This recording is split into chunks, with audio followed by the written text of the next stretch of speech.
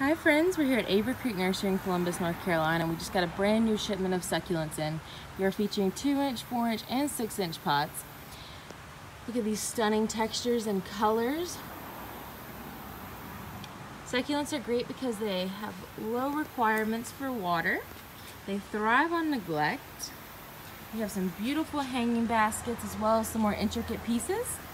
Um, we also have some beautiful, beautiful pre-made arrangements in pottery, as well as three-tiered succulent gardens.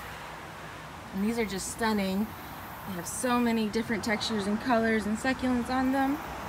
We have, we have aloe vera, which is known for its healing properties, jade, some more beautiful low maintenance succulents, and this is flapjacks here, probably the easiest of them all. So succulents are great because you can put them in a pot with little to no drainage as long as you make a base for them and we'd like to show you how to do that. Just take your pot, fill it with rocks, apply your soil, and there, you have your own drainage system in your pot.